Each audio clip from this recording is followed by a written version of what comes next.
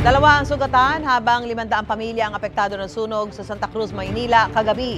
Muntik ting madamay ang isang pasilidad ng Manila City Jail kaya inilikas ang daan-daang inmate. May unang balita si Jomer Apresto. Ganito kalaking apoy ang sinusubukang apulahin ng mga bumbero sa bahagi ng Barangay 310 sa Santa Cruz, Maynila. Nagsimula ang sunog pasado alas 9 kagabi na mabilis na itinaas ay kalimang alarma. Ibig sabihin, hindi bababa sa 20 truck ng bumbero ang kinailangang rumesponde. Ang mga residente, kanya-kanyang hakot ng kanilang mga gamit. Ang iba, wala nang naisalba maliban sa imahe ng Santo Niño at Nazareno. May ilan naman na piniling unahing isalba ang kanilang mga alagang hayop. Ayon sa barangay, nagulat sila dahil mabilis na kumalat ang apoy na nagsimula raw sa ikatlong palapag ng isang paupahang gusali sa playground compound. Hindi na namin kinayang dalhin yung fire extinguisher dahil lumaki bigla bilis ng pagkasunog. Umikot eh, nagsimula dito sa may bandang bungad namin malapit sa barangay, doon sa may bahay ni Bantay nga, tapos inabot kami hanggang LRC. Gumapang din daw ang apoy sa malapit sa pasilidad ng Manila City Jail. Napasugod ang ilang kaanak ng mga persons deprived of liberty na nakapiit dito. Ayon sa Bureau of Jail Management and Penology, agad naman nilang inilipat sa ibang bahagi ng City Jail ang daang-daang PDL.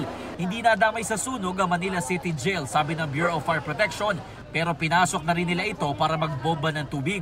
Yung daan po ay napaka-liit po para po ah, makakuha po namin yung pinaka-focal points po nung ah, apoy. At the same time po, ay yung mga tao po ay talagang napakadami po.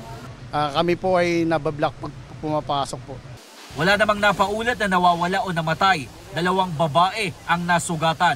Kabilang ang isang senior citizen na nagtamo ng second degree burn sa iba't ibang bahagi ng katawan. Batay sa datos ng BFP, aabot sa 500 pamilya ang nawala ng tirahan. Nasa mahigit 3.7 billion pesos naman ang tinatayang halaga ng mga napinsalang ari-arian. Kabilang sa mga nawala ng tirahan si Nanay Michelle na halos kauuwi lang daw galing sa trabaho nang mangyari ang sunog. Mahirap talaga. Siyempre, magpapasko tapos ganito mangyari. Lahat ng pinaghirapan, isang iglap lang ulang. Ubus. Patuloy pang inaalam ng BFP ang pinagmula ng apoy. Sa ngayon ay inililista na ng Manila Department of Social Welfare ang pangalan ng mga residenteng nasunugan. Sabi ng barangay, may ilan kasing mga residente ang nananamantala at nagpapanggap na nasunugan para makakuha ng ayuda sa gobyerno. Ito ang unang balita, Jomer Apresto para sa GMA Integrated News.